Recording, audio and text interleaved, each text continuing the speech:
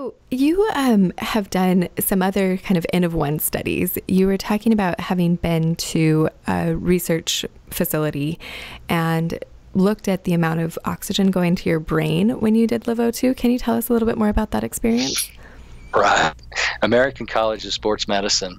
We were at a conference in Denver, and uh, another company was there called Artinis. All right, and they had a blood oxygen sensor that would actually shine into the brain. So it would go like three centimeters deep. And what was fascinating about this particular device is it would look at the blood going in, how much oxygen it had, and it would look at the blood coming out, how much oxygen it had. So you could actually do the difference and you could measure how much oxygen the brain was actually using. So in sports terms, that's a VO2 measurement, literally, and we were able to watch it in real time. So what I did was we, we hooked my brain up on my on my right side, and we looked inside and we looked how much oxygen my brain was using as I did the protocol.